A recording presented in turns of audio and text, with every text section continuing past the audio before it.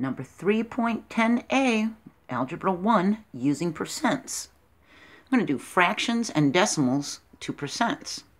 So there's three ways to write a percent. We can write it with a 5 with the percentage sign, or as a 0.05, or 5 over 100 as 5 hundredths.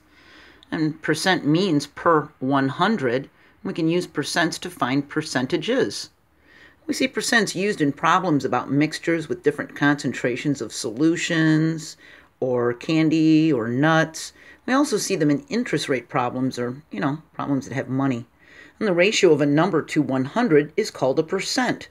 It's represented by that symbol, the zero, the little tiny zero with the slash with the little zero underneath it, and that's called the percent symbol. So don't forget that there's uh, links to helpful videos in the description of this video. I have an entire playlist on algebraic word problems that can help you, all right? When we solve problems that have percents, we change it to a decimal first. So if you see 64.5%, we change it to a decimal by taking this percentage sign off. And it's 64.5 times 1 one hundredth. And we can actually write this over a 1, can't we? And we can see it's 64.5 over 100. That means it's 0.645. See? Let's try another one. We've got 3%, and all that means is 3 times 1 one hundredth.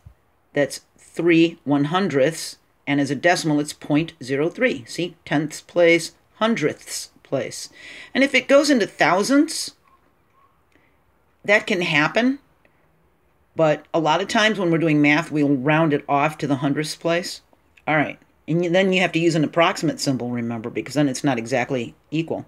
If you see three digits like 125%, that's 125 times 1 100th. So you have 125 over 100, which means you have 1.25. Okay? All right, so let's see what happens now with fractions, because sometimes we need to change a fraction to a percent, and it's easier to do this by changing the fraction to a decimal first. So if you see 3 fourths, remember, it's a little division problem. It means 3 divided by 4. How many times can 4 fit into 3? So we try putting that 4 into the 3, and we need to put a decimal point and some zeros to help us do it, because it can't go into 3 on its own, can it? 4 is too big. So by adding the decimal point and the zeros, we can make it go in, and it comes out as 0.75 as a decimal. We move that decimal point back two spaces so it's not seen anymore behind the 5, and we add the percentage sign. See? For one third, how many times can 3 fit into a 1? We have to add the decimal point and the zeros to help us do it. 3 goes into 10 three times, and we see that it keeps repeating with the 3. So we round to the nearest hundredth place and just put the percentage sign. See? We move that decimal point back. It's 33%. If we see 6 fifths, how many times can 5 fit into 6? 1.2 times when we do the long division. And the 1.2, we move the decimal point back two hops, 1, 2. We have to add a 0 there, and it ends up becoming 120%. If we have 0.02 over 500 as a fraction, how many times can 500 go into 0.02? We have to add a lot of extra zeros behind the 2 to help us do it, and it comes out as 0.00004.